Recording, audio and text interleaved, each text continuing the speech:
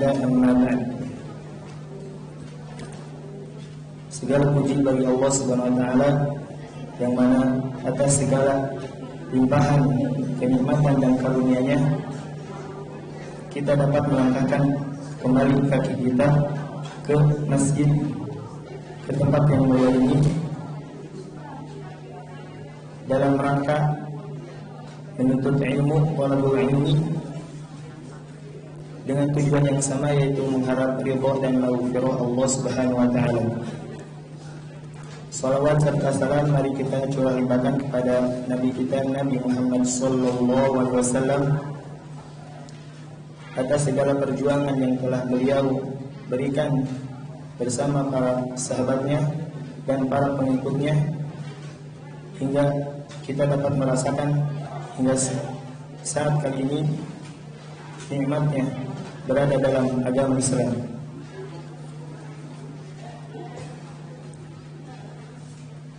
Insya Allah pada ahad kesempatan kali ini yang akan mengisi yaitu Ustaz Iwan, Iwan Abu Ayash Mudir Ma'had Baitur Rahman yang akan mengupas membahas tentang Fadlul Islam bab wajib masuk Islam secara total dan meninggalkan seluruh agama yang lain. Akan tetapi sebelum segala kesempatan akan diberikan kepada Ustaz ada beberapa yang beberapa pengumuman yang akan saya sampaikan. Yang pertama Mata Baitur Rahman Ahad pertama bulan Desember Insya Allah bersama Ustaz Dr. Nasruddin Syarif yang membahas tentang buku Arisalah jadi dua. Yang kedua, Mahabbaitur Rahman mengucapkan terima kasih dari doa. Jazakumullah khairan katsira atas semua dukungan dari seluruh jamaah terkhusus atas semua infak sedekah serta wakafnya. Semoga semua dukungan jamaah sekalian menjadi sedekah jariah yang terus mengalir kebaikannya sampai hari akhir. Mahabbaitur Rahman senantiasa menanti setiap dukungan dukungan dari seluruh jamaah. Kemudian pengumuman cukup sekian agar tidak berlama-lama lagi pada Ustaz waktu dan kesempatan kami persilakan.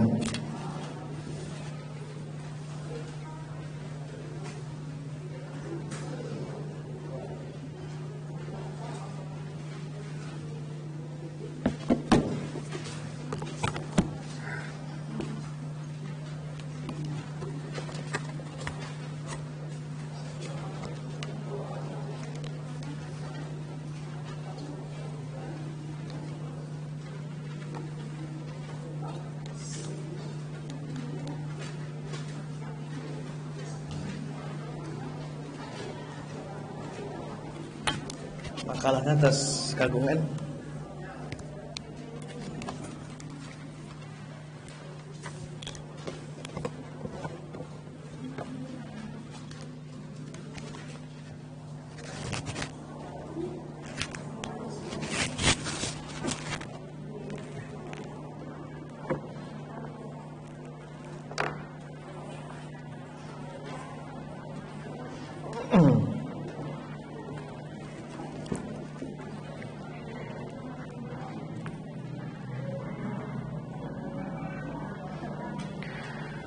إن الحمد لله نحمده ونستعينه ونستغفره ونعوذ بالله من شرور أنفسنا ومن سيئات أعمالنا.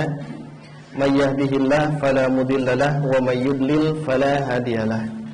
أشهد أن لا إله إلا الله وحده لا شريك له وأشهد أن محمدا عبده ورسوله. أما بعد فقال الله تعالى في كتابه الكريم أعوذ بالله من الشيطان الرجيم. إن الدين عند الله الإسلام. وقال في آية أخرى يا أيها الذين آمنوا ادخلوا في السلم كافة ولا تتبعوا خطوات الشيطان إنه لكم عدو مبين.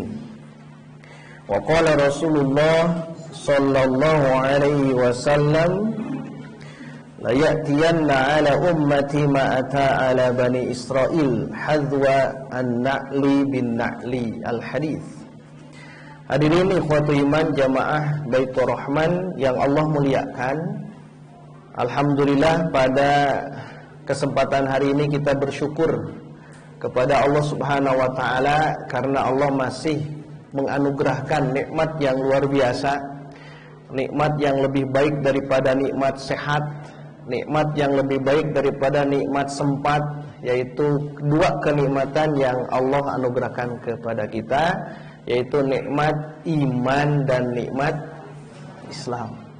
Ini melebihi daripada kesehatan. Karena belum tentu ada orang diberikan kesehatan tapi belum tentu di, diberikan nikmat iman. Belum tentu orang diberikan nikmat kesempatan, belum tentu juga dia diberikan nikmat Islam. Maka nikmat iman dan Islam uh, perlu untuk kita syukuri dengan cara kita melaksanakan ketaatan kepada Allah dengan cara menjalankan perintahnya dan menjauhi larangannya.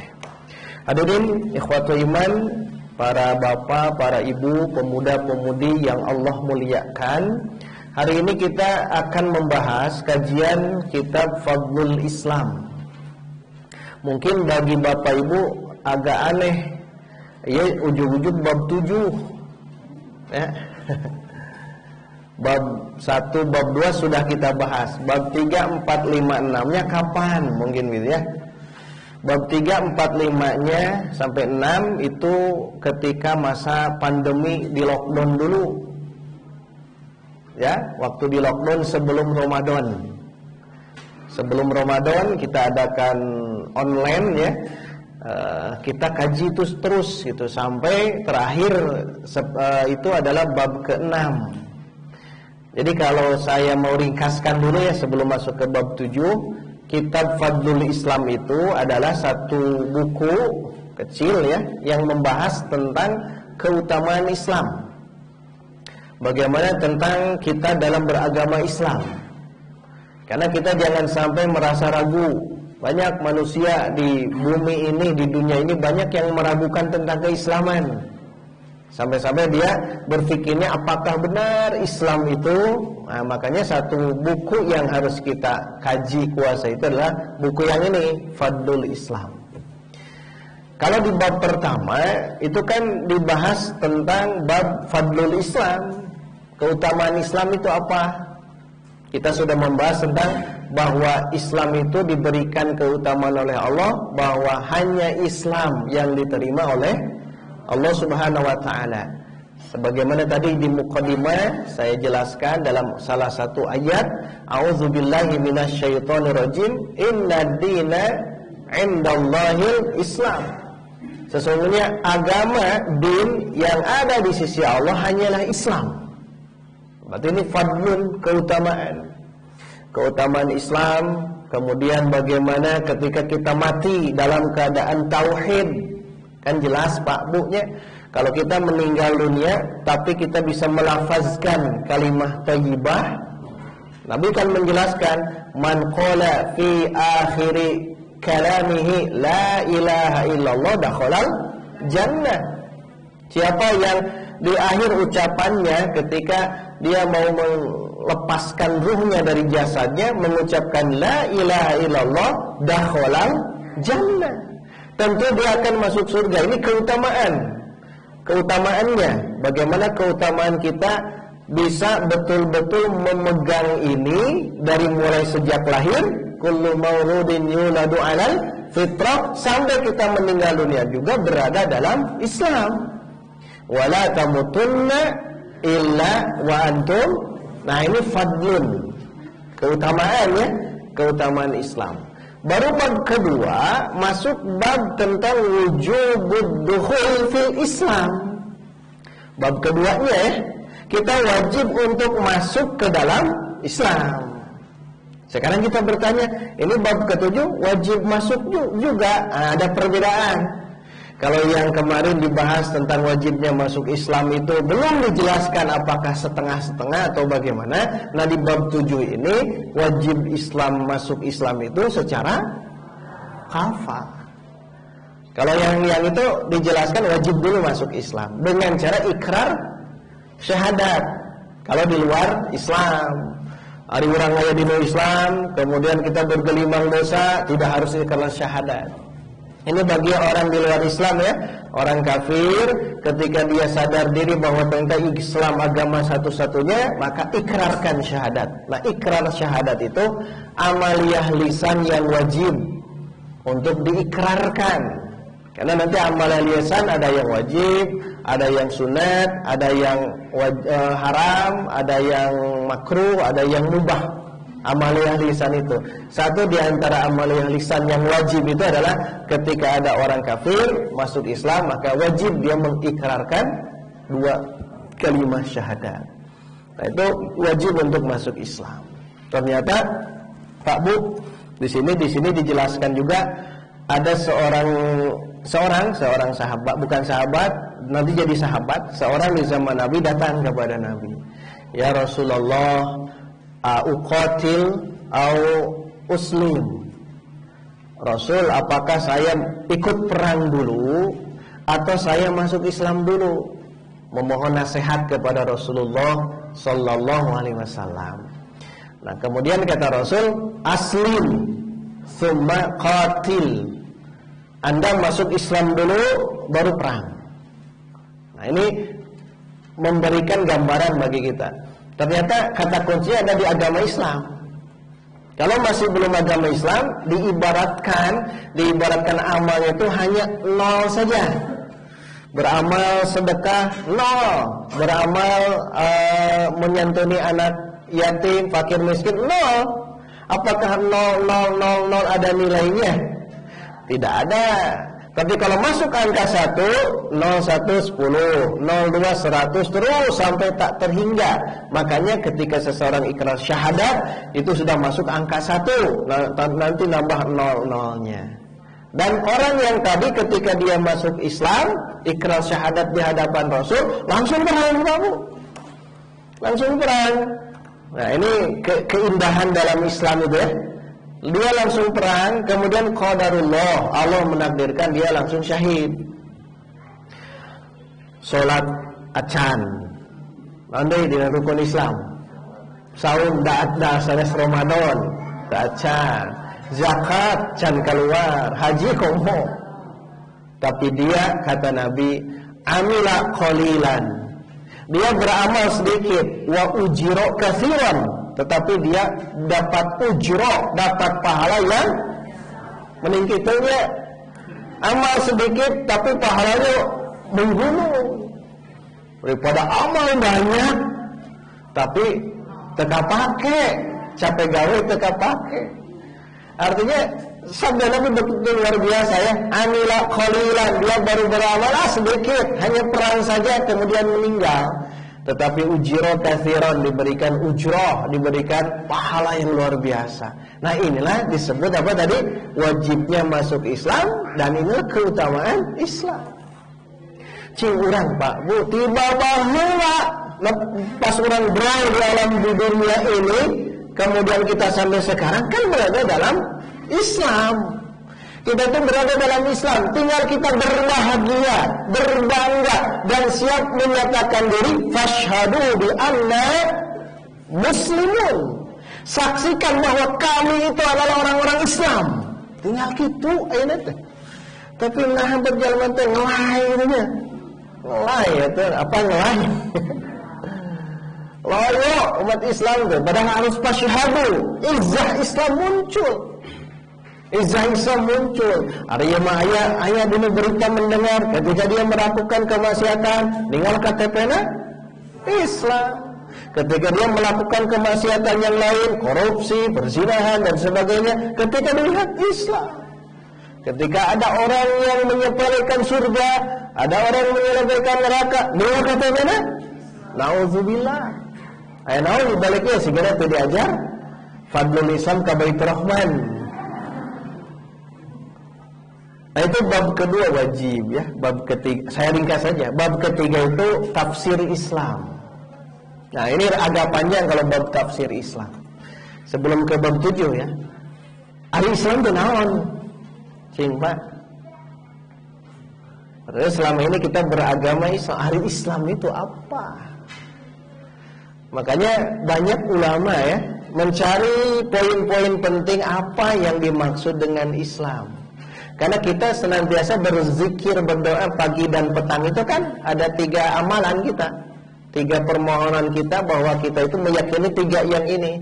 Yang pertama, itu billahi robba. Aku ridho, robku itu hanya Allah. Yang kedua, wabil islami dinan dan Islam sebagai agamaku. Yang ketiga, wa bi Muhammadin nabiyyan wa rasulah. Aku yakin bahwa Muhammad ini adalah nabi dan rasul Allah. Berarti yang kedua tadi adalah Islam wa bil islami dinan. Hari Islam teh naon? Kan itunya. Nah, kalau mau diringkas ada satu buku bagus. Kalau mau bertanya tentang Islam, tanyakan saja bisa tidak menjawab tiga pertanyaan gitu. Kalau ingin tahu apa itu Islam, apa itu agama yang benar lah. Kalau saya mau tegaskan agama Islam itu benar. Yang lain salah. Bukan agama Islam paling benar. Bukan. Karena ada yang mengatakan Islam itu paling benar, yang lain benar, yang lain salah. Yang lain salah. Bahkan ayat jelas ya di Al Imran masih di situ wa may yabtaghi ghairal islami dunan. Siapa yang mencari-cari agama selain Islam ada dua keadaan. Yang pertama yuqbala minhu. Tidak akan diterima dari agama itu amalan apa pun juga. Yang kedua wahwa fil akhirati minal khasirin. Rugi dia nanti di akhirat. Dia akan rugi di akhirat Nah tinggal tanya saja kalau agama itu benar Dan bisa menjawab dengan agamanya Bukan pemikirannya. Dengan agamanya bisa tidak menjawab tiga pertanyaan itu? Lawan pada hiji? Yang pertama Min aina jikna Dari mana kita datang? Cing desa ngawalar pamu Dari mana kita datang? Yang kedua Walima gajikna untuk apa kita datang di sini, hadir di dunia ini untuk apa? Lima enggak. Kenapa kita hadir di sini? Kenapa Allah menciptakan kita di alam dunia ini? Itu harus terjawab oleh agama-agama yang ada di dunia ini. Harus bisa menjawabnya. Kalau bisa menjawab itulah agama yang benar. Baru yang ketiga wa ila wa, wa ila masir. Kita mau pulang ke mana? Tanya saja tiga pertanyaan itu ya. Satu, kita datang dari mana? Kedua, untuk apa kita ada di sini?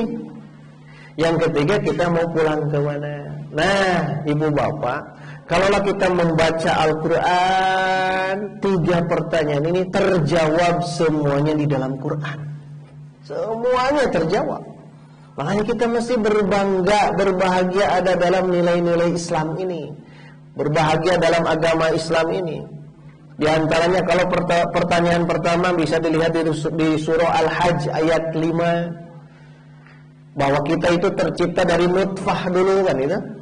Dari nutfah dari tanah dulu ya, dari saripati tanah menjadi nutfah, menjadi alaqah, menjadi mudghah, menjadi sosok kita seperti ini lahir bayi kemudian uh, balagu asyudda kemudian diwafatkan kemudian dipikunkan. Itu surah al-hajj jelas. Kita asal muasal dari mana itu itu di al-hajj ayat 5 Ya ayuhan nas in kuntum fi raibin minal ba'ats fa inna khalaqnakum min turab thumma min nutfah summa min alaqah, summa min mudghah. Terus dijelaskan seperti itu. Kemudian nukhrijukum tiflan, kami lahirkan kalian dalam keadaan bayi. Summa liyablughu asyuddakum, kemudian kalian berada dalam uh, usia yang sangat kokoh kuat, usia muda, usia mudi. Itu asyudda. Ada yang mengatakan usia 17, ada yang mengatakan usia 25 tahun, ada yang mengatakan usia 27 tahun. Itu kondisi muda. Wa minkum man yuwaffa di antara kalian ada yang langsung diwafatkan oleh Allah, wa minkum man yuraddu ila umur dan di antara kalian ada yang dipikunkan. Jadi perjalanan hidup kita sudah terjawab dalam surah Al-Hajj ayat 5. Maka berbahagialah Quran menjawab itu dari pertanyaan pertama, min aina ji'na? Dari mana kita datang? Sok agama yang lain. Agama Hindu naon kitabnya? Hindu, Buddha gitu ya. Agama naon uh, kitab mereka itu? Weda, Tripitaka, ah yang gitulah ya. Ada tidak menjawab tentang ini? Kan tidak jelas gitu. Di Quran jelasnya luar biasa. Atau di ayat yang sering kita dengar di surah Al-Insan, hal ata 'alal insani hilum minad dahri lam yakun syai'an madhkura. Kalian itu belum disebutkan sesuatu pun sebelum lahir teh. Misalkan namanya Ahmad, belum disebut nama-nama Ahmad. Kenapa? Lam yakun syai'an madhkura. Belum disebutkan nama itu. Tadi disebutkan nama orangnya ketika akikah kan ya usia tujuh hari baru diberi nama.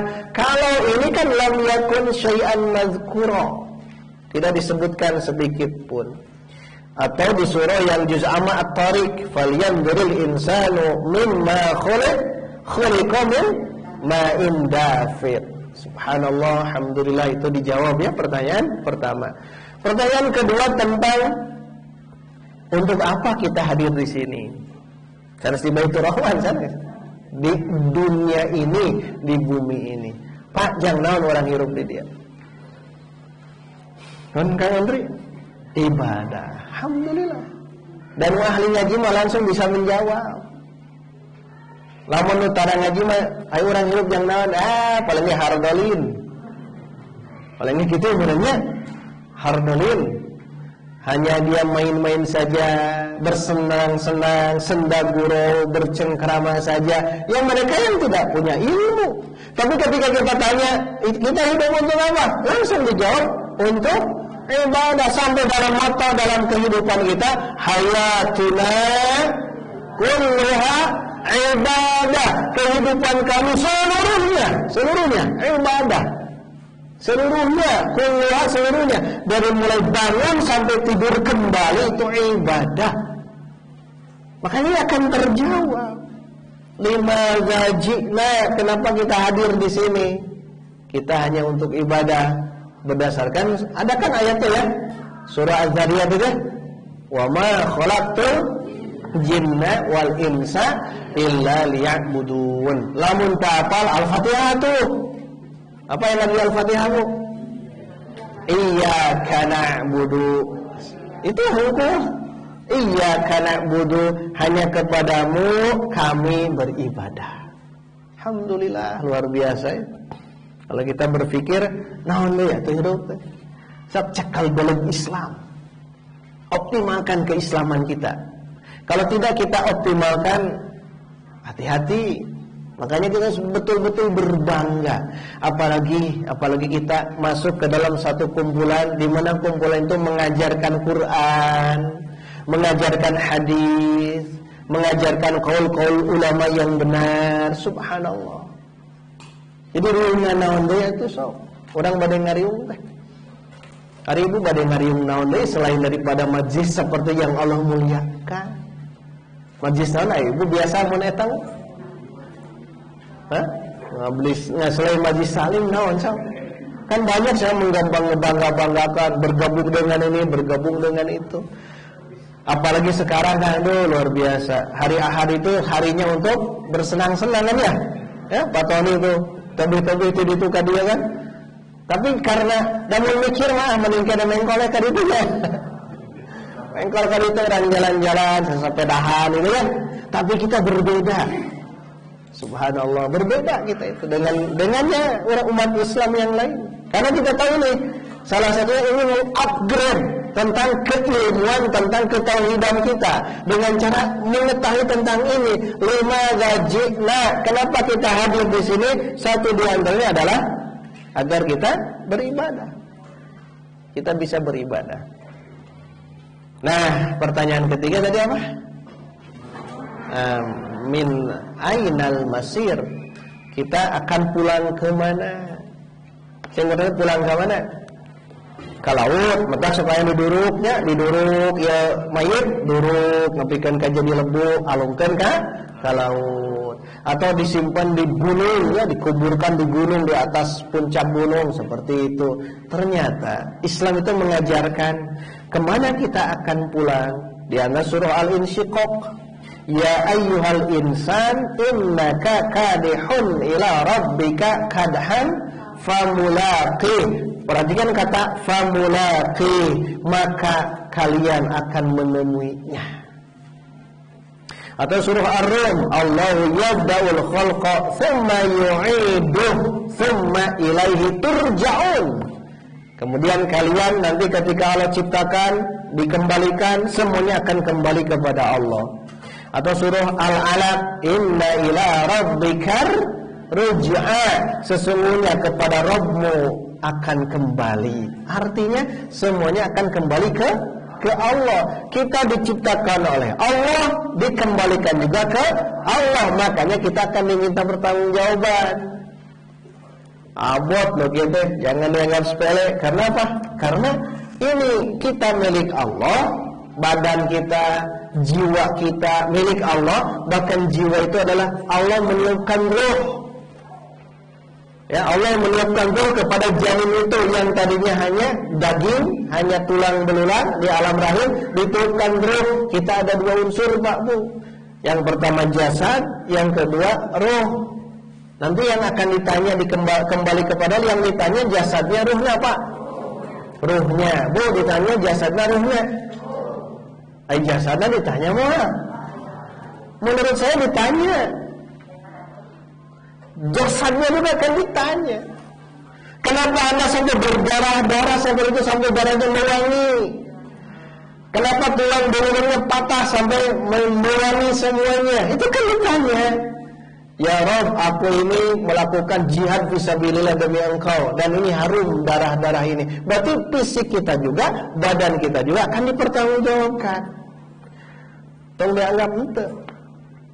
Huis oke ditanggungjawabkan, mau huis uban-uban minta pertanggungjawaban nah hai huisan bari angel lingkaran laku lampate kitu jeung kitu wae teu daek babalik pikir wae huis geus bararodas kabeh dina non dina dina yeuna dina kepalana lain babalik pikir kan itu akan diminta pertanggungjawaban Seluruhnya akan diminta pertanggungjawaban dari ujung rambut sampai ujung kaki. Maka Islam ajarkan. Satu ajarkan berwudu, untuk kebersihan dirinya. Kedua ngajarkan kalau lebih dari wudhu mandi minimal seminggu sekali jumahan bapak. Ya bisi tara mandi asal minggu sekali sajumat sekali jumatan. Mandi kan bersih. Ada kuku-kuku panjang di potong kumis dikurut ada income bulu income itu dicabut kan semua dalam bulu-bulu badan kita apakah Islam mengajarkan Ya, Islam mengajar itu. Maka kita akan meminta pertanggungjawaban bukan hanya ruh saja, tapi jasad. Sampai bagaimana jasad itu. Makanya nanti jasad oleh Allah akan dicoba untuk diujikan. Bukan ruh saja. Seseorang jasad kita ujung-ujung ada pembengkakan. Kutil di kulit luar mah naon, bisa digunting. Ini namun kutil dalam badan. So, ketumbuhan tumor, lebih parahnya kanker. Allah akan ujikan kepada orang itu. Apakah dia bersabar tidak? Kalau dia bersabar, berarti Allah akan berikan jannah. Karena dia bersabar atas ujian dalam penyakit yang dia derita. Karena diuji oleh Allah fisiknya. Bisi rumah kuat, rumahnya kuat, langsung oleh, oleh Allah uji itu. Ujian penyakit itu ingat, sudah Allah berikan ujian kepada orang per orang. Cing, bapak nu sehat ayeuna can pernah teu damang-damang, cing. Ah, saya segala ayah cenah. Ibu cing ya. Ah, ibu mah segala pabrik ayah, pabrik nu amis ayah, pabrik nu asum ayah, pabrik nu itu semuanya ada. Artinya Allah sudah ujikan dan ujian ini adalah marhumatun. Diberikan rahmat oleh Allah Subhanahu wa taala. Syaratnya apa? Sabar, satu saja sabar. Ada hadis, hadis Qudsi ya, hadis Qudsi riwayat Al-Bukhari hadis sahih. Allah berfirman begini.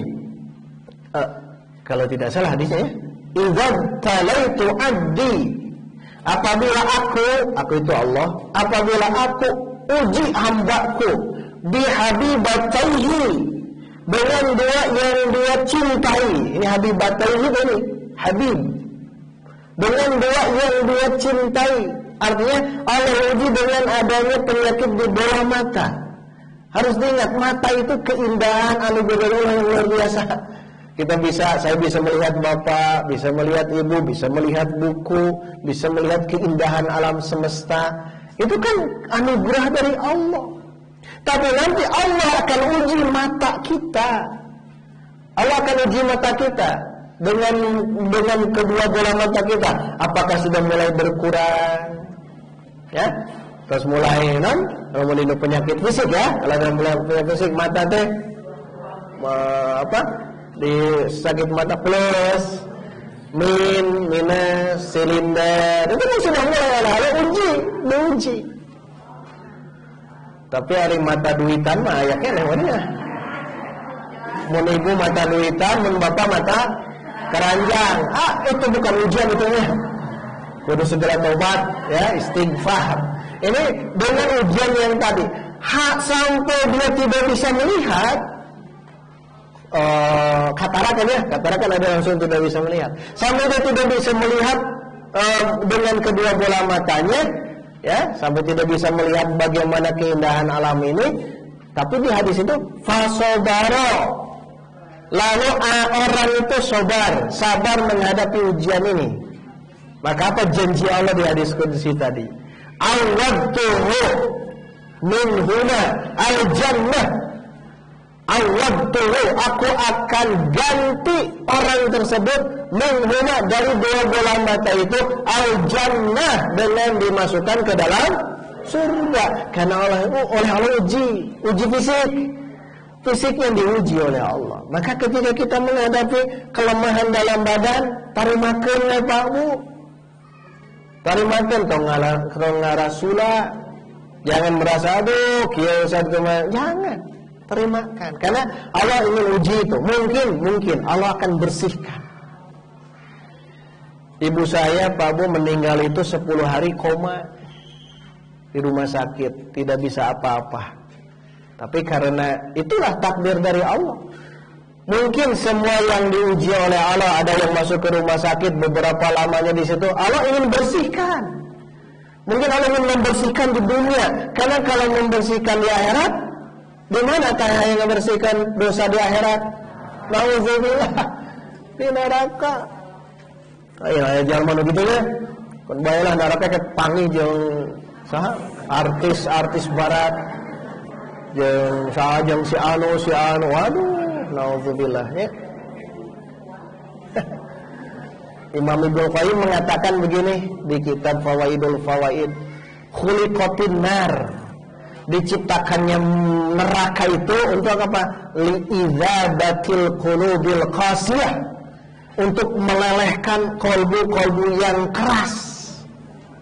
Jadi diciptakan neraka itu untuk melelehkan kolbu yang keras supaya leleh. Hati-hati nutariras teh.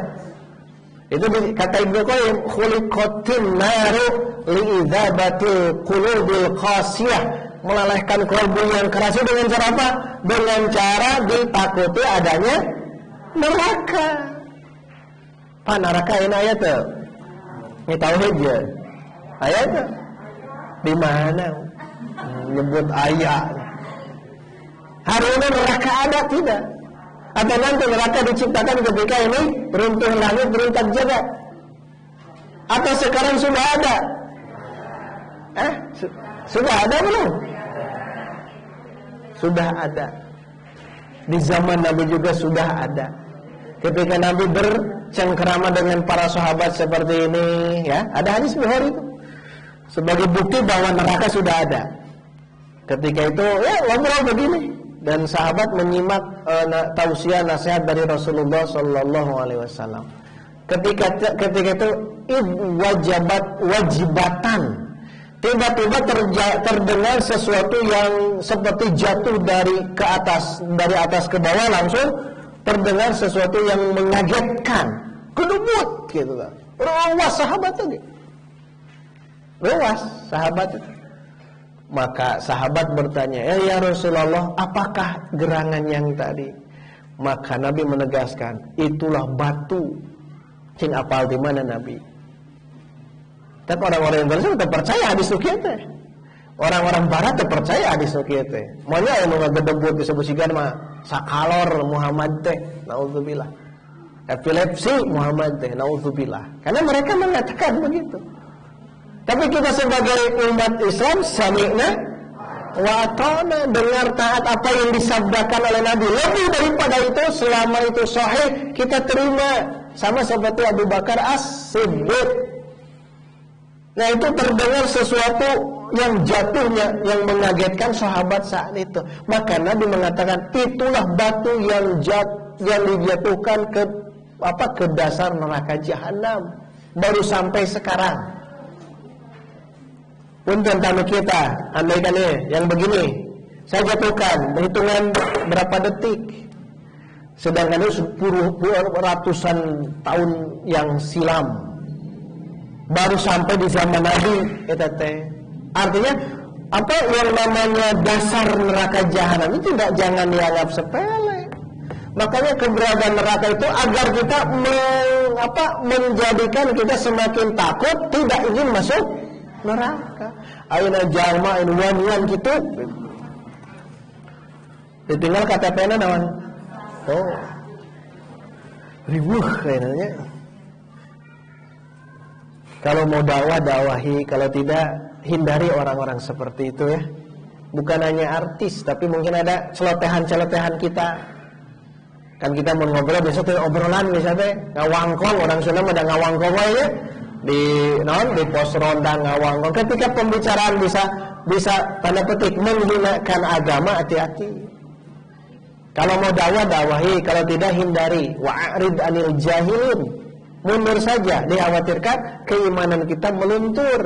Makanya cari Pak Bu komunitas orang-orang yang bisa menguatkan keimanan dan keislaman. Cari saja. Dan ini konsekuensi. Kalau kita mencari orang-orang yang seperti itu konsekuensinya kita meninggalkan orang-orang seperti itu. Dan itu konsekuensi. Tidak bisa kita lelombokan Abdi masa lelombokan kadi hayu ke orang-orang itu hayu. Tidak bisa bagi Islam itu izzahnya harus muncul ya. Izzah Islam itu harus muncul. Nah ini satu iman Itu bab yang sudah kita bahas. Kemudian bab keempat tentang Ayat wa may yabtagi ghairil Islam ditafsirkan. Bab kelima tentang Ujub al-istigna Bimutaba'atil kitab ala kulli ma siwah. Wajibnya kita merasa cukup Hanya mengikuti Quran saja Kemarin sudah kejelasan jangan jangan atau Quran saja, tapi disanding dengan sunnah ya, Quran dan sunnah. Cukup. Tidak dengan yang lain-lainnya. Tidak harus kita mencari literatur-literatur yang lain. Cukup dengan Quran dan sunnah. Bapak tas hotam nelaah Quran 30 juz. Acan. Ibu tas uh, khotam nelaah hadis. Acan aja. Artinya kita jangan dulu merasa ah itu banyak teori-teori barat yang luar biasa. Belum tentu ya. Belum tentu. Nih yang ada dalam Quran ada dalam sunnah kalau ulama itu tinggal banyak harus kita bongkar. Literatur ulama Islam mereka membuat produk-produk ilmu itu lebih banyak daripada literatur barat. Ya, apalagi kalau Bapak Ibu bisa menelah tentang kitab-kitab itu semuanya ada. Mau bidang apa pun juga ada semuanya. Politik, ekonomi, sosial, budaya semuanya ada.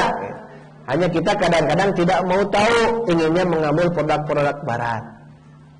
Nah, ini tentang wajibnya kita merasa cukup dengan memegang Quran dan sunnah. Itu bab 5. Bab 6, bagaimana kalau ada orang keluar dari Islam. Itu bab 5 yang terakhir kemarin. Eh bab 6. Nah, sekarang bab 7 sekarang. Bab wujub dukhul fil Islam kulluhu. Wajibnya masuk Islam seluruhnya. wa tarku ma siwahu dan meninggalkan selainnya. Nah, ini lebih lebih kokoh kalau yang ini dibandingkan yang sebelumnya. Karena nanti kita akan tamatkan buku ini ya. Ada 13 13 bab. Ini baru bab ke-7. Jadi bab ke-7 menjelaskan tentang wajibnya masuk Islam itu total. Total. Dan meninggalkan seluruh agama di luar itu. Nah, orang siap tuh gitu masalahnya tuh. Kadang-kadang Pak Buk kita Quran kan Quran 30 juz 114 surat Kadang-kadang dipilih-dipilih oleh kita Ustaz mengabah tentang bab jihad itu Ulah bab jihad mah Bising ke kumaha Onam Bising kumaha onam ya bab jihad deh Jihad ada dalam Quran Ayah Ustaz tengah bab riba Jadi teh masyarakatnya ribawi unggul Ulah omat Kan gitu ya. Apakah riba diabadikan dalam Quran? Jelas, eces cendre. Jelas pisan. Bab bab faraid ada? Apalagi faraid, satu-satunya ilmu yang diabadikan dalam Quran langsung tidak ada tidak tidak apa tidak ada yang lain-lainnya kecuali hanya faraid saja, waris saja. Dibanding yang lain tidak ada. Salat, ayat kaifiat salat dari mulai takbir sampai salam di Quran tidak ada. Zakat tidak ada. Saum, lumayan saumnya. Ayat lumayan saumnya. Tapi yang paling lengkap itu tentang faraid, waris. Artinya apa? Akan banyak orang-orang yang memikirkan tentang syariat waris ini, mereka mengesampingkannya. Simpan mereka dia. Ayo mau orang bagi rata, weh. Gitu. Banyak ini lah pan itu cina nu istri teh nama damel lain nama nu pamagat anu hamil gitu gara main mah andaikan gitu ya jadi sekarang sudah mulai karena apa karena kesetaraan gender disetarakan sekarang sehingga ayat waris sekarang sudah tidak update lagi tidak bisa dilakukan lagi ilmu waris seperti ilmu waris seperti zaman dahulu Lupa mereka itu. Justru keberadaan ayat waris ini ingin menyelamatkan keberadaan perempuan. Lupa kalau membaca tentang sejarah Arab jahiliyah dulu, namanya warisan itu bagi seluruh perempuan tidak dapat waris. Seluruh perempuan. Kaya warisan kami seorang istri, anak perempuan, seorang ibu atau nenek, mereka tidak dapat waris. Tuh, Arab jahiliyah gitu. Sekarang kita masuk ke Islam. Apakah seorang anak perempuan dapat waris? Dapat. Bahkan banyak setengah warisan bisa dibawa oleh seorang anak perempuan. Bahkan dua per tiga harta bisa dibawa oleh perempuan anak perempuan yang lebih. Bagi seorang ibu dapat dia sepertiga harta atau paling sedikitnya seperenam harta. Bagi saudara sekandung perempuannya, dia dapat harta juga. Kenapa? Karena Islam mengajarkan ini. Tahu ramah yang kata, maknya ari awewe saaisan, ari lalaki, mikirnya terlalu pendek. Terlalu terlalu pendek. Makanya kalau masuk Islam kafah, ingat mesti kafah. Cek orang gitu gitu, wah kan berenang nah teteh aduh data cantiasa. Paling gitu saja. Untuk Quran mengatakan jihad jihad. Quran mengatakan sholat sholat Quran mengatakan saum saum. Quran mengatakan ini ini. Tangkia sholat sama rajin. Tapi pas bab harta zakat keheula anak zakat narajin tapi pas bab waktu saum di bulan Ramadan tara itu tidak kafah Termasuk aturan-aturan muamalah yang tadi bab waris. Saya banyak memperhatikan bab waris Bu harus di, harus disadarkan di umat di masyarakat. Kebanyakan warisnya karar itu. Lu paling parah bagi begini, urahan saya misal mau meninggal. Pas mau meninggal teh, ah meningkene bagi rata ke anak-anak, dosa tuh. Kudu nama saya mau meninggal sekarang. Oh, buat si Anu berikan sepertiga harta saya. Buat si Anu, si Anu berbeda di ya. Buat seseorang, buat si Anu, buat Ustadz Iwan. Pak Haji gitu kan, kayaknya wasiat ya. Atau wasiat maksiat. Pas saya mau, mau meninggal, mau meninggal, ah, Ustaz gini ya abdi teh maot-maot Teh Berikan kepada orang itu sepertiga harta saya. Itu menunjukkan beramal soleh di waktu mau meninggal. Ada pas rek maut buat hayang mikir dibagi rata, nggak salah itu teh. Dosa tuh. Ya, rek maut. Kalaupun mau seperti ini, ah udah bagi rata saja. Itu hadiah, hibah namanya. Boleh. Dia mau rek maut mikirnya gitu. Ngun rek maut masuk, ada kan wasiat kan ya? Wasiat itu jangan lebih satu per tiga. Wasiatkan sesuatu. Oh yaitu ruko Ruko yang saya punya itu di tempat yang itu Berikan kepada Ustadz Iwan Misal ya Berikan Harusnya berpikir begitu Pas kita meninggal itu jadi jariah untuk kepentingan pesantren, untuk kepentingan fakir, miskin dan sebagainya, itu jadi jariah daripada orang berdosa seperti tadi. Pak Bu harus ingat, saya tegaskan, saya tegaskan, kalau kita meninggal dunia, tidak pernah kita bermakkan, sodakohkan, infakkan atau wakafkan harta yang kita miliki, nanti kita akan berangan-angan kepada Allah, Rabbi laula akhirtani ila ajalin qarib. Nangis orang Ya Allah, langsungkan deui abdi ka bumi sok sanajan sadetik dua detik. Kangge naon? Fa asaddaqo saya akan sana sedekah deh as-sadaqah tasdidna ya dua. As-sadaqah sana asduko sana saya akan bersodakoh menghabiskan menghabiskan harta yang saya miliki. Wa akum minas solihin oke abdi badai jadi jalma anu soleh. Jadi jadi gemar sodako ini jadi jalma yang solih artinya orang ini tidak mau bersodako selama hidupnya saya berpikir sekarang kita harus mempersiapkan yang terbaik. Karena lihat kita masuk Islam itu mesti kafah. Baik jasad kita, badan kita, harta kita atau dua-duanya. Kalau ibadah badaniah, contohnya sholat, badaniah. Kalau ibadah malia, harta, contohnya zakat. Kalau ibadah badaniah plus malia, contohnya haji, umrah. Haji kan tidak bisa diwakili. Haji itu oleh diri sendiri, berarti badaniyah. Plus maliyah harus ada hartanya. Maka ibadah badaniyah, ibadah maliyah itu harus kita total ketika masuk Islam. Nah, maka banyak orang-orang banyak orang-orang kenapa enggan untuk mengucapkan kalimat la ilaha Taeta enggan nate total Ari Abu Jahal bis uh, paham ucapan la ilaha illallah dibanding orang. Paham bisa tuh Abu Jahal. Abu Lahab uakna Nabi, apakah beliau paham? Sangat yakin isi daripada kalimat tauhid tadi? Sangat yakin.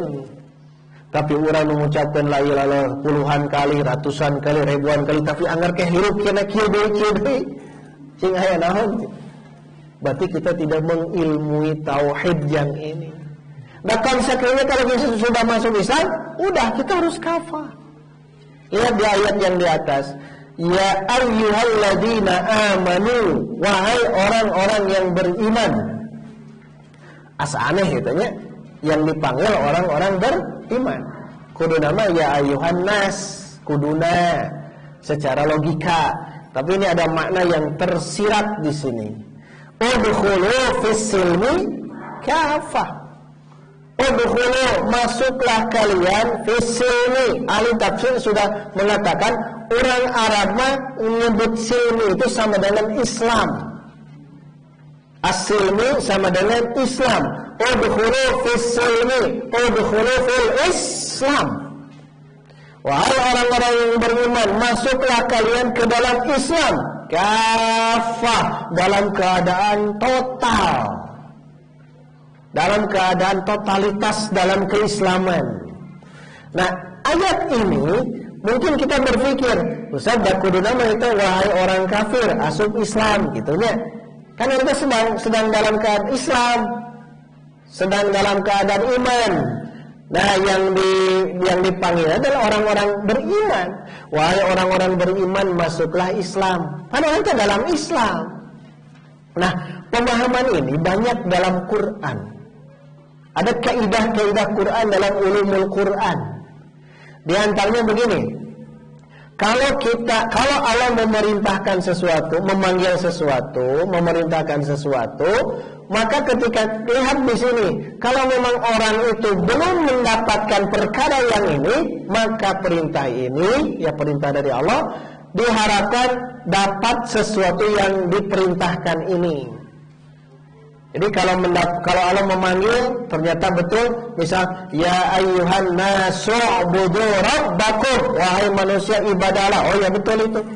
Ada manusia-manusia yang belum mendapatkan ibadah, maka ini yang dimaksud yang pertama dan ini yang banyaknya. Tapi kalau yang seperti ini atau di ayat yang lain contohnya ya ayyuhalladzina amanu aminu surah An-Nisa 136 Wahai orang-orang yang beriman, imanlah kalian. Kan teka hartosnya. Kudu nama wahai orang-orang kafir berimanlah. Ini mah ya ayyuhalladzina amanu aminu. Wahai orang-orang yang beriman, imanlah. Siga nu keur dahar jalma dahar di orang dahar. Wahai orang-orang yang sedang makan, makanlah kan itu. Karena dari bahasa itu ya sebenarnya, tapi kalau dari bahasa Quran ada keindahan bahasa. Wahai orang-orang beriman masuk Islamlah. Kan teka hartos secara logika yang tadi. Tapi justru kata ulama dikatakan ini agar kita bisa sabar. Tetap dalam keimanan tetap dalam keislaman. Ya kalau ada kata-kata yang model begitu, ya ayyuhalladzina amanu udkhulu fis silmi kafah. Dan orang itu selebat Islam, maksudnya hal yang sabar, hal yang sabit, hal yang tetap keislaman dalam diri kita. Ini maksudnya. Karena ingat keislaman itu banyak yang menggerogotinya.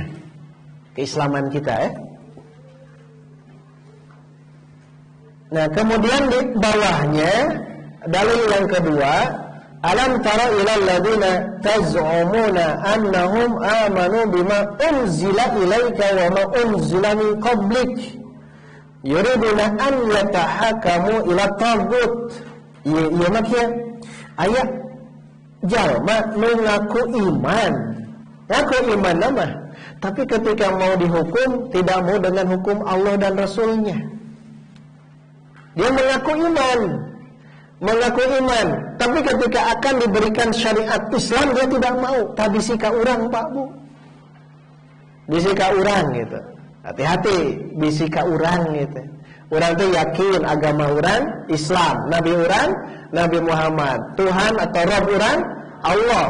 Tapi ketika disebutkan harus beribadah kepada Allah, harus mencontoh Rasulullah, harus sesuai dengan ajaran Islam, ternyata kita tidak mau. Nah, bisa masuk ke sini. Apalagi ibu bapak nanti di rumah, ini kan surah An-Nisa ayat 60. Nah sebelumnya dibaca dulu. Sebelumnya tentang apa? 59. Ya ayyuhalladzina amanu atiullaha wa atiur rasul wa ulul amri minkum. Taat kita kepada Allah, taat kita kepada Rasul, taat kita kepada pemimpin. Fa in tanaza'tum Fisyai'in farudduhu ilallah wa rasul. Kalau kita berbeda, berselisih tentang sesuatu, kembalikan kepada Allah dan Rasulnya. Itu dulu. Sebelum ke ayat yang ini. Nah nanti tiga ayat berikutnya baca di, di rumah agar kita lebih memahami tentang makna ayat yang ini. Karena saling keterkaitan munasabah ayat demi ayat itu. Ayat sebelumnya begini, ayat sesudahnya begini akan saling keterkaitan. Tidak hanya seperti ini saja. Coba dibaca di rumah. Berarti bermula dari ayat 59, 60, 61, 62 sampai 63. Ini kesatuan yang utuh agar kita masuk Islam secara kafah. Nah, kalau di bawah firqah kalau yang ini. Dalil yang ketiga lihat. Innal ladzina farraqu dinahum. Wah, ini sudah masuk ke firqah perpecahan yang ini. Sesungguhnya orang-orang yang memecah belah agama, nah ini akan ada. Wakanu syiaan dan mereka itu berpecah bergolong-golong, terpecah dengan golongan-golongannya. Lasta minhum fi syai'in. Kamu wahai Muhammad tidak bertanggung jawab atas perpecahan mereka. Nah ulama nanti ahli tafsir akan menelaah, meneliti, iya teh sahawai iya teh. Gitu. Saha orang-orang yang memecah agama teh saha? NU, Persis, Muhammadiyah, Al-Insad. Apakah mereka yang memecah agama ini sampai terkotak-kotak? Nanti ada orang memahami begitu. Itu ormas-ormas itu tidak benar. Mereka sudah membuat kotak-kotaknya sendiri. Apakah benar seperti itu? Kan harus kita pahami. Jangan sampai kita salah keliru dalam memahami ayat ini. Karena yang digunakan dalam isu yang ini. Ketika disebut farraqu dinahum, memecah-mecah agama, harusnya dalam wilayah satu kesatuan untuk di atas uh, manhajnya Rasulullah sallallahu alaihi wasallam. Kenapa ini terpecah-pecah? Makanya dia memahami begitu. Jelas dia begitu. Memecah TNU versus Muhammadiyah sama di Indonesia. Di yang lain ada lagi negara yang lain. Yang di Indonesia. Cing begitu, laras pecah-pecah teh Bu, laras teh. Itu. Ini mah hanya kendaraan-kendaraan saja. Satu wadah-wadah saja. Tidak semuanya bisa masuk. Tidak semuanya bisa masuk. Makanya ada yang resep ke NU, kan ya. Ada yang resep ke Persis, ke Muhammadiyah. Dengan kelebihan masing-masing memang ada. Dan sejak zaman dulu ini ada. Persatuan Islam lahir tahun seberapa? Tahun seberapa? 1923. Kan sejak zaman dulu. Sebelum Persatuan Islam kan ada di Bandung sah SI kan ya? Sebelum sudah ada SI, nanti ada muncul Nahdlatul Ulama, nanti muncul Muhammadiyah, muncul yang lain-lainnya. Itu menunjukkan bukan perpecahan, mewadahi. Ini mewadahi, mewadahi. Hanya nanti, nanti dibawakan kita paham, ketika masuk ke mana pun juga, ke mana pun juga, kita harus mengazamkan diri, harus sesuai dengan apa uh, tuntunan sahabat, tuntunan Rasul dan sahabat uh, radhiyallahu anhum. Nanti di bawah dijelaskan. Artinya mereka bukan pecah-pecah. Karena masing-masing ada. Lamun hayang di bidang dakwah di mana? Ayana? Ormas mana? Persis dakwah itu. Persis itu kan dakwah. Dua, tarbiyah dan dakwah, pendidikan dan dakwah. Maka jangan salah, sekolah-sekolah kan di mana-mana ayahnya. Berarti fokus di pendidikan dan dakwah. Kalau di ekonomi, perekonomian apa? Di Muhammadiyah, makanya Muhammadiyah ada al-maksumnya kan ya. Mereka bangkit seperti itu. Itu bukan saling memojokkan. The founding father, para pendiri ormas-ormas besar itu, mereka tidak saling menyalahkan. Ada wadah-wadah tertentu, nuramena urang nawe itu. Rameta urang nawe, asapang itu. Harusnya kita memposisikan diri ya dalam bab yang seperti ini. Tidak masuk ke sini, ingat. Tidak masuk alladzina tidak masuk. Karena nanti ada yang menafsirkan yang memecah agama itu adalah Yahudi dan Nasrani. Orang-orang Yahudi dan Nasrani sudah jelas sejarah membuktikan memecah belah agama bahkan membunuh para para nabi dan rasul. Tiba heula keneh, Pak Bu. Mereka terkenal seperti itu. Sudah terkenal. Dan mereka yang senantiasa memecah belah. Ya, memecah belah. Masuk agama Nasrani dengan Nabi Isa-nya. Nabi Isa diudak-udak, kusaha diudak-udaknya. Yahudi. Nabi Muhammad hijrah dari Mekah ke Madinah. Di Madinah ya sah. Orang-orang Yahudi, Bani Koinko, Bani Nadir, Bani Quraidah, mereka benci terhadap sosok Muhammad yang ini. Mereka berusaha untuk membunuh Nabi, mensihir Nabi, dan sebagainya. Berarti sudah menjadi kebiasaan mereka akan seperti itu, memecah belah umat. Makanya kehadiran Yahudi di Madinah, di Yathrib seperti itu, memecah suku asli yaitu Aus dan Khajraj ratusan tahun mereka itu berpecah belah bersengketa Aus dan Khajraj. Siapa yang mengendalikannya? Yahudi dan Nasrani. Termasuk kita di Indonesia. Orang tolo bating pasnya bab furu'iyah mah. Bab masalah furu'iyah mah memang wajar kumaha tuh gitu. Ini dalilnya A, ini dalilnya B. Aku ada tinggal kita bangkitkan kemampuan dalam tolak ilmu kita, keilmuan kita. Nanti dengan sendiri akan mengerucut nantinya. Oh, ya yang ini boleh, yang ini tidak boleh, yang ini tidak boleh, yang ini masih boleh. Karena kita terus dibingkai dengan keilmuan, lalu tidak dibingkai dengan keilmuan, orang anak asapang, pang benerna. Ya, asapang benerna. Kan belum tentu. Maka bangun itu semua ya. Bangun dalam keilmuan. Jangan sampai nanti memecah-mecah belah. Perpecahan itu memang oknum, ya harus diingat. Perpecahan itu adalah oknum-oknumnya. Dan ingat tugas Nabi itu jelas ya. Ani'budullah wajtanibut tagut jelas dalam koridornya. Nabi itu seperti itu.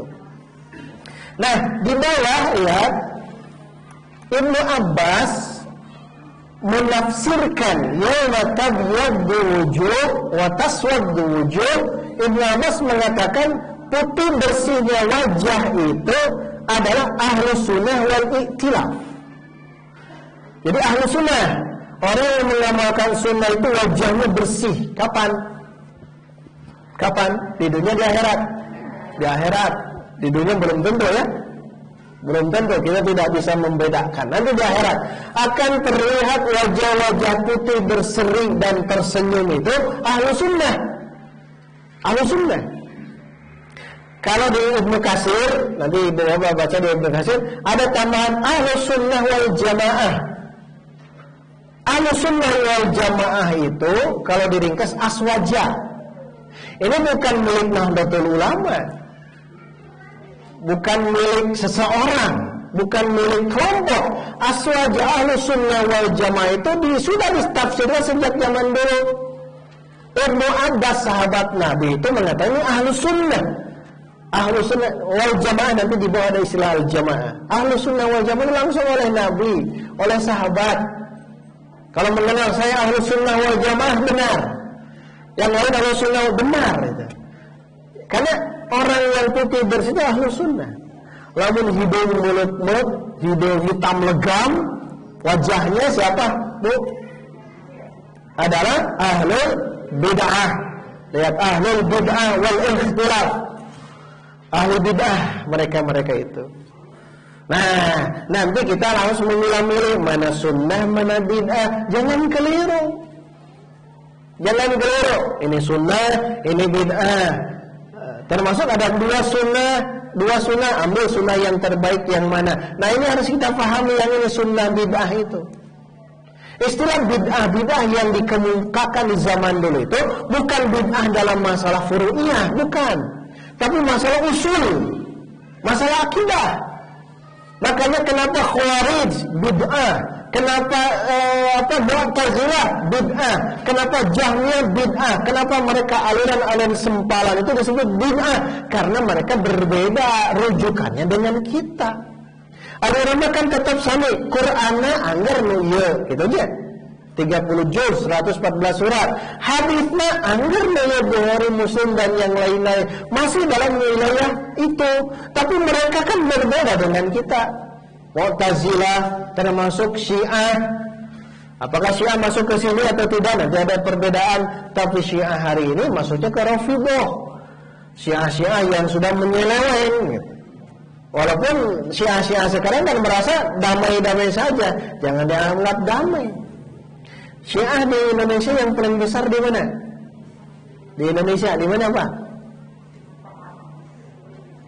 Tong jauh-jauh. Bandung. Bandung. Ada ada dengkotnya.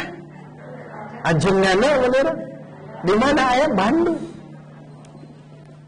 Dulu ya, sekarang lu proklamirkan diri. Bagaimana cara menghadapinya? Kita kuatkan majlis taklim seperti ini. Majlis taklim Quran Sunnah kuatkan.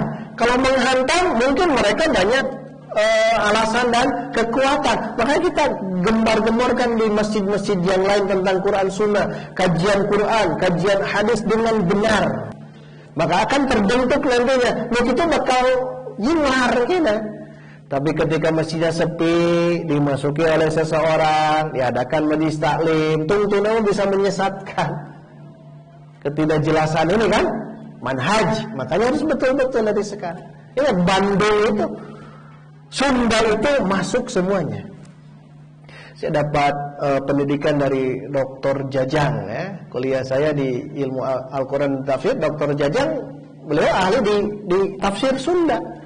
Kata beliau jangan aneh kalau Sunda itu gudangnya semuanya ada. Karena karena ciri khas orang-orang Sunda itu menerima semuanya. Mau nggak suka orang Sunda mah. Betul, Syiah di Bandung. Orang yang keras di mana ya? Bandung. Maka tidak aneh, NU ya di Bandung, Persis ya memang basisnya Persis kan Bandung ya. Muhammadiyah ada, semuanya ada, termasuk Tegalan Raja ya di Bandung lah. Sunda di Sunda, di Sunda itu banyak. Karena sifat orang-orang Sunda begitu, kata beliau. Makanya kalau kita tidak mulai dari sekarang memilah dan memilih, hati-hati. Dan orang Sunda bisa masuk ke mana-mana. Orang Sunda ya, bisa masuk ke mana-mana. Baik, kembali ke sini. Jadi kalau orang yang oleh sunnah wal jamaah itu ini bukan dimiliki oleh satu ormas saja, semua umat Islam nanti di akhiratnya akan putih bersih wajahnya. Tapi kalau ahli bid'ah nanti akan menghitam legam wajahnya. Itu menurut Ibnu Abbas radhiyallahu anhu. Terakhir di bawah ini perpecahan umat. Kata Ibnu Taimiyah ya, hadis yang ini terakhir paling bawah kata Ibnu Taimiyah hadis yang ini adalah berita berita kepada kita akan tetapi ini mengandung ancaman yang sangat keras larangan yang sangat keras jangan terjerumus ke sini isinya berita tapi yang dimaksud bukan beritanya, tapi larangan agar kita jangan terjerumus kepada kelompok-kelompok ini. Kata beliau ya, dalam Iqtidau Siratul Mustaqimnya, Imam Ibnu Taimiyah. Lihat di sini, sabda Nabi Muhammad sallallahu alaihi wasallam. Terjemahnya di halaman berikut. La ya'tiyanna 'ala ummati ma ta'ala bani Israel Nanti, Sur Nabi, akan ada dalam umatku bakal mengikuti seperti Bani Israel. Hadwa na'li bin na'li. Sejajar dengan sendal dengan sendal, sandal dengan sandal. Maksudnya sama. Ini sandal sandal kanan, sandal kiri sama maksudnya. Bakal kita tak. Paham ya? Jadi nanti ada umat itu bakal seperti ini ke orang-orang mereka itu. Saking sejajarnya. Ini kabar dari Nabi. Kabar dari Nabi seperti itu. Hatta in kana minhum man ata ummuhu alaniyatan, auzubillah. Sampai di antara Bani Israel ada yang berzinah, menzinahi ibunya dengan terang-terangan, lakana fi ummati man yastau dalik. Nanti di umatku itu akan melakukan seperti itu. Budak sorangan, ngazinahan, indung sorangan. Dan terang-terangan. Jadi terang-terangan sekarang itu di post di media sosial. Sekarang terang-terangan bukan terang-terangan dia melakukan di tengah jalan bukan, tetapi memilih tempat-tempat tapi di shoot dan disebar di medsos. Itu terjadi hari ini. Kenapa ini perlakuan orang-orang Yahudi diikuti oleh umat Islam karena terbuka ilmu. Dan itu akan seperti itu. Jadi beginilah kehidupan dunia itu ya, umat Islam itu akan senantiasa ada pesaingnya. Pesaing itu adalah Yahudi dan Nasrani. Tidak bisa kita pungkiri. Nah, Nabi menjelaskan bahwa inna bani Israel tafarraqat ala thintaini wa sab'ina millatan. Yahudi itu, Bani Israel itu akan terpecah 72 golongan. Ada yang mengatakan betul 72, ada yang mengatakan kata 7 ini menunjukkan banyak. Banyak nanti banyak firqah-firqah. Tidak disebut 72-nya. Banyak. Tapi lihat, wa taftariqu ummati, tapi umatku akan terpecah belah, bukan 72. Coba juga 73. Langsung saya mana? Islam. Beda hiji. Nah, beda hiji. Sebab muka 72 nanti itu orang Yahudi. Sarwa kene terpecah belah itu nama. Yahudi terpecah belah, Nasrani terpecah belah, umat Islam pun akan ikut-ikutan terpecah belah. Ini berita dari Nabi, tapi harus jadi larangan keras jangan masuk ke sini gitu. Sabda Nabi kulluhum finnar. Semuanya masuk ke dalam neraka illa millatan wahidatan kecuali hanya satu saja. Berarti yang masuk neraka berapa? 72. Sisanya satu. Nah, orang teh kudu dia. Udah satekah pola. Seoptimal mungkin kita terus masuk ke sini. Maka sahabat bertanya, "Wa man hiya ya Rasulullah?" Siapakah dia wahai Rasul? Maka Nabi menegaskan sifat ma'ana alaihi wa ashabi. Apa yang halaman berikut, apa yang aku menempuh jalan dan juga sama ditempuh oleh para sahabat. Artinya Nabi melakukan ini jalannya, kita ikuti jalan Nabi. Sahabat, apalagi khulafaur rasyidin menjalan, kita ikuti jalan para sahabat. Ini yang bisa menyelamatkan di akhir kehidupan zaman sekarang itu. Makanya mengkaji Quran, mengkaji hadis itu niscaya kepastian mesti kita optimalkan hari ini. Tahu mengkaji lain-lain lah. Quran lagi cantamat, hadis oke. Okay. Bukhari anu itu sahihna ya cantam. Makanya mulai dari sekarang kajilah di masjid-masjid babu. Bangkitkan lagi semangat untuk kembali kepada Quran dan Sunnah. Sing jelas pengajiannya ya mengkaji naon gitu. Harus jelas kajiannya. Oh kajian tentang Bukhari tentang kitabul iman keimanan. Kitabul salat salat kitabul zakat zakat. Kitabul haji haji. Terus kita optimalkan. Karena ini akan menyelamatkan kita nanti di akhirat kulluhum finnar. Semuanya masuk neraka kecuali yang begini. Ma'ana alaihi wa ashabi. Maka di bawah terakhir halaman terakhir nanti uh, hadis tuh yang biru yang biru. Eh tambah hidung aslinya biru berwarna aslinya. Yang ini yang hadis Muawiyah yang kedua terakhir, kedua terakhir. Sabda Nabi nanti akan muncul dari umatku keranjingan hawa nafsu. Ah ya. Umatku gitu. Umat Islam ya. Akan keranjingan hawa nafsu lir ibarat anjing gelo. Lir ibarat penyakit anjing gila. Penyakit anjing gila itu non? Rabies. Kalau satu intinya bukan ke, rabiesnya, tapi satu penyakit yang bisa menggerogoti organ badannya. Tapi kekebea kerangsak gitu. Nah, ini nanti akan ada umat meresep karena hawa. Nah, umat Islam ingat, dia resep kalau hawa nafsu itu terus diibaratkan sebenarnya sampai kalau kalau diibaratkannya dia punya penyakit yang virus virus mematikan sampai darahnya, tulang, daging, kulitnya semuanya habis. Dikarenakan apa? Virus hawa nafsu yang ini. Makanya terakhir virus syahwat ini, virus hawa nafsu ini. Terakhir, nanti di akhirat ada surga, ada neraka. Ada surga di halangan kunaon. Ya? Bukan itu. Surga dihalangi oleh apa? Sesuatu yang apa? Sesuatu yang tidak disukai. Ini surga ya, surga nanti dihalangi, dikelilingi oleh yang tidak kita sukai. Ingat itu. Yang kedua, ini lewat Muslim sahih. Yang kedua neraka, dikelilingi oleh apa? Sesuatu yang kita sukai, syahwat. Betul bakal ada dia. Maksudnya apa? Surga dikelilingi oleh yang tidak kita sukai, bil makarih neraka dikelilingi oleh bisyahawat orang resep kan dia si ngaji secara logika resep logika logika. Jangan dulu masuk agama. Ngaji modal kia resep te mending ngaji mending akan itu. Oh kan? Bermending kena ulang jadi ibu mah. Berarti kan makari tidak disukai. Ingat kalau kita bisa mendobrak yang ini surga gitu gampang nama kalau kita bisa mau masuk ke sini sesuatu yang tidak terresep atau ngaji itu nunutan wae nunutan wae ningali ustaz begini beki letih gitu. Las Artinya di sini tidak kita sukai, tapi kalau kita bisa berenang di situ, maksakan diri di situ, pisur daun.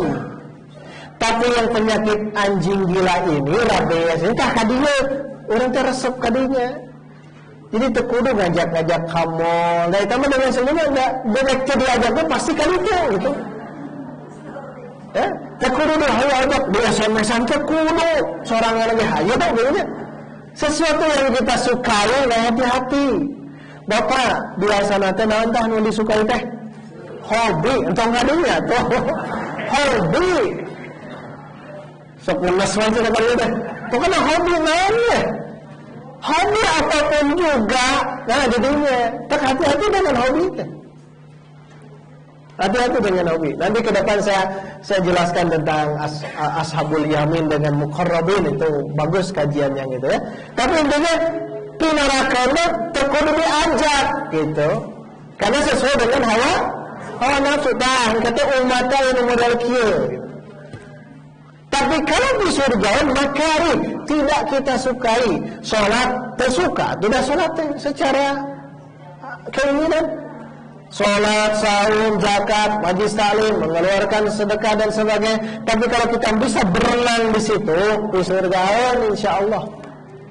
Nah ini yang saya sebutkan. Maka kembali ke bahasan yang ini, yuk kita masuk Islam secara kafah, walaupun tidak kita senangi. Fima ahabba wa kariha. Yang penting sami'na wa ato'na. Sopir sami'na wa ato'na lah. Nah demikian ibu bapak yang dibahas pada bab ketujuh Lihat paling akhir bab 8 apa judulnya? Nah, apa namanya? Uh, bid'ah itu paling bahaya. Bid'ah itu paling bahaya. Nah, nanti kita akan bahas tentang perbedaan paling bahaya. Makanya kita harus menelaah meneliti tentang bab ini. Tapi mungkin ini ketemunya di ahad kelima ya.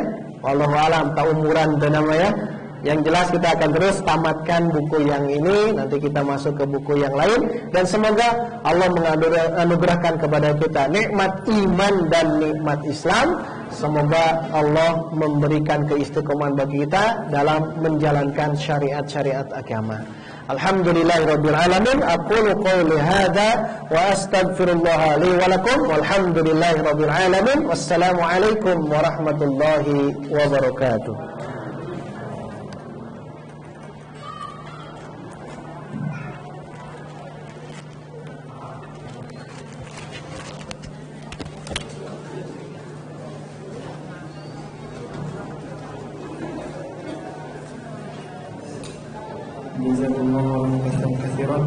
Ausan yang telah menyampaikan ilmunya semoga apa-apa yang telah beliau sampaikan menjadi ilmu dan masul khususnya bagi Ausan dan umumnya bagi kita yang mendengarkan. Mungkin sekian kajian kali ini tutup saja dengan doa Rabbana atina fid dunya hasanah wa fil akhirati hasanah wa qina. Assalamualaikum warahmatullahi wabarakatuh.